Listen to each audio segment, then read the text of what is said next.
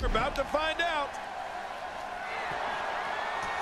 We knew this could happen. Oh, you knew, Cole? And there's some more emotion on display.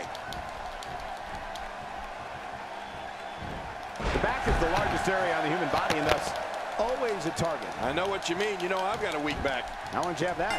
Oh, about a week back. Oh, wait, nice reversal. This is a wreck. He's moving like an uncaged animal. Oh, no lie, he's wild in there.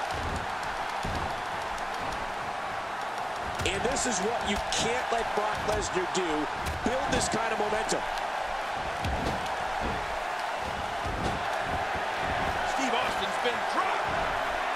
The Conqueror's in charge. Brock Lesnar most certainly knows how to get in the head of his opponent. With this kind of attack, you have to wonder just how much longer they can compete in this match. Yeah, I completely agree. The way things are going in there, I'd say not much longer. My gosh, this is a beating. We're looking at complete domination here.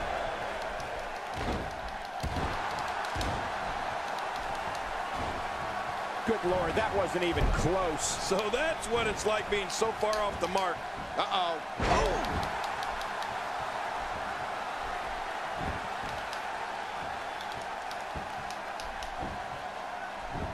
Going for the... And he kicks out. And he lives to fight again. There's a long way to go before Lesnar is through.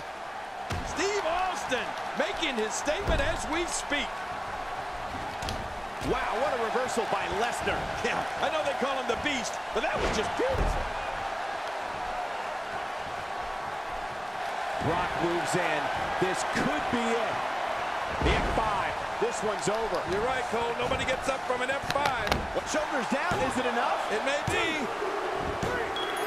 It's over. It's all over.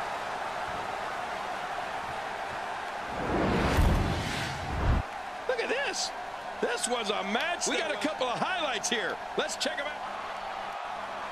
Here's your